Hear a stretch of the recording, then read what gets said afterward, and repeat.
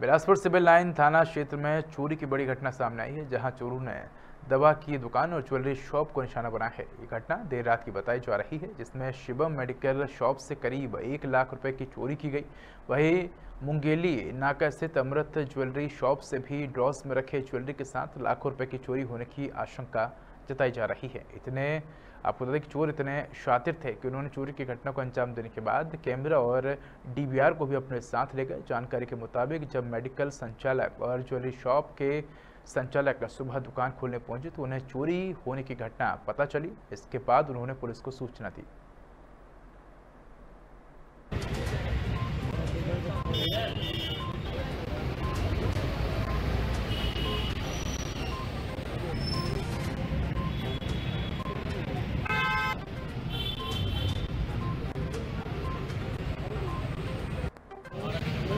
somebody else.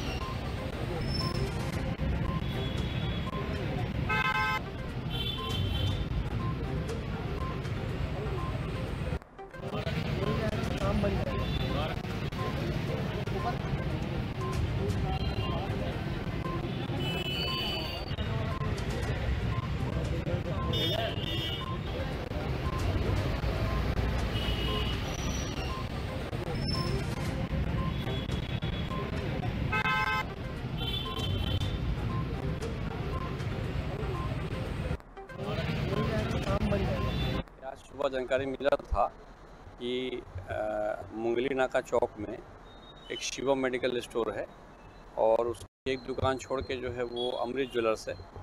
दोनों पे ऊपर से आकर किसी अज्ञात चोर ने चोरी कर लिया है। इस जानकारी पर यहाँ आकर तस्दीक किया गया। आसपास टी कैमरा खंगाल रहे हैं। साइबर टाइम की जो साइबर सेल की टीम भी यहाँ पर है। और जो अभी इंट्रेंस और एग्ज़िट पॉइंट जो है उस पर भी बात चल रही है।